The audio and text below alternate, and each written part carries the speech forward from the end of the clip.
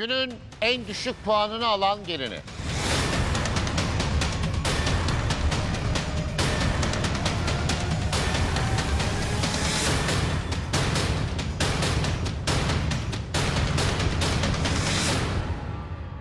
Altı puanla Güngör.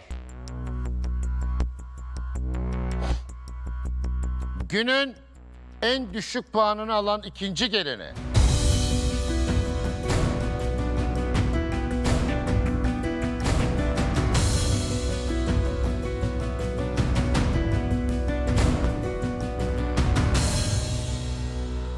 On üç puanla Gülcan.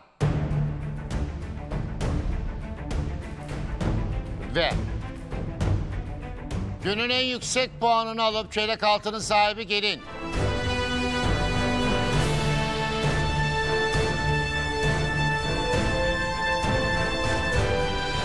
On altı puanla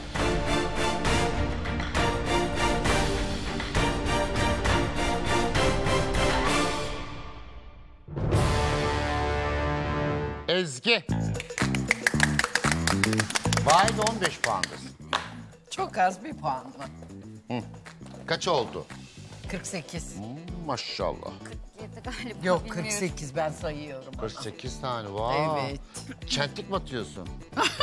Çentik mi Yok atıyorsun? vallahi hiç de atmam. Güle güle kullan. Hafızama yazıyorum. Tebrik ederim. Bugün ikinci günümüz. Çok güzel puanlar aldım ve 48. çeyreğimi yakama taktım.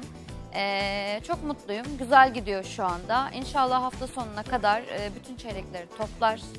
e, 65 yaparım. Birileri çok rahatsız oluyor. Daha çok rahatsız olacak.